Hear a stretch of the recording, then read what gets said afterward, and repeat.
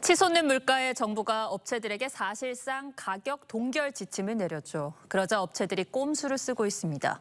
값은 그대로 두면서 양을 줄이는 겁니다. 기업 입장에서는 생존하기 위한 전략이겠지만 소비자들은 기만당한 기분이 들기도 합니다. 소비자 탐사대 고승현 기자가 취재했습니다. 한 제조사 캔맥주를 마트 두 곳에서 샀습니다. 가격은 같은데 하나는 375ml이지만 다른 하나는 370ml로 5ml가 적습니다. 375ml짜리는 아예, 아예 이제 판매를 안 하고요. 370ml로. 가격은 지금 동일하긴 한데 맥주 원료 보리값 상승을 이유로 제조사가 4월 이후 생산한 용량을 줄인 겁니다. 약간 뭐 서운하다고 해야 되나? 예, 섭섭하다고 해야 되나? 속았다는 생각이 조금. 오렌지 원액 가격 인상 여파로 과즙 100% 오렌지 주스는 과즙 함량이 20% 줄었고 기존에 100이었지 않습니까? 그게 80으로 낮아진 걸로 확인됩니다.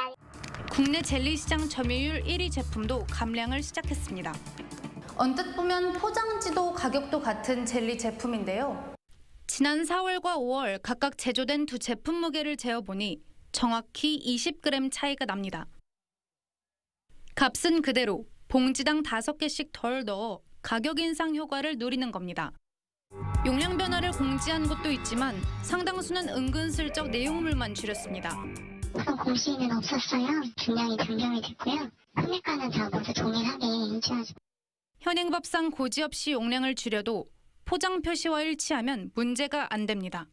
줄어드는 걸 그러면 어떻게 규제나 제재할 방법이 있냐? 그거는 없는 것 같아요. 소비자가 잘 파악할 수 있는 그러한 표기 방법은 좀 고민할 필요가 있습니다. 일부 기업 꼼수 가격 인상에 불경기 소비자 장바구니는 더욱 가벼워졌습니다.